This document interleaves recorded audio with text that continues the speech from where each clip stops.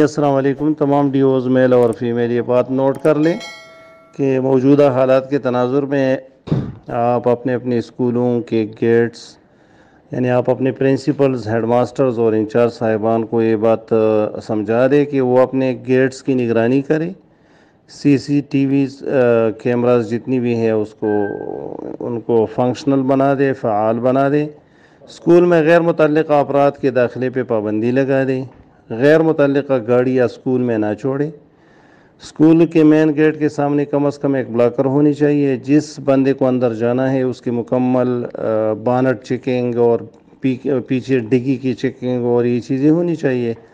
नीचे से भी अगर चेक हो तो बेहतर होगा। कहीं ऐसा ना हो कि कोई आईडी, माईडी एक्सप्लोर वो धमाका खेज़ मवाद नीचे से किसी ने पेस्ट किया हुआ हो तो वो भी देखनी चाहिए। और बहरहाल फ़िलहाल तो ये कोशिश होनी चाहिए कि किसी भी गाड़ी को स्कूल के प्रेमिस में या दफातर के प्रेमिस में ना छोड़ा जाए।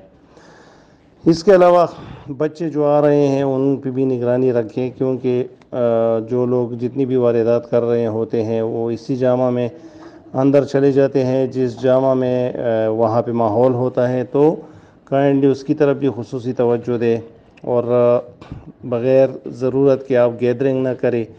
गैर ज़रूरी इज्तमात से परहेज़ करे।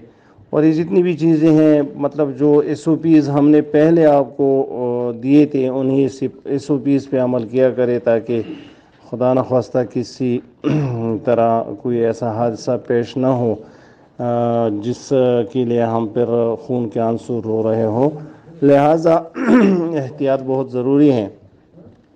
तमाम दफातर में भी, स्कूलों में भी और जहाँ जहाँ हमारे एसेट्स हैं वहाँ पे ये चीज़ें इंश्योर कर ले। शुक्रिया।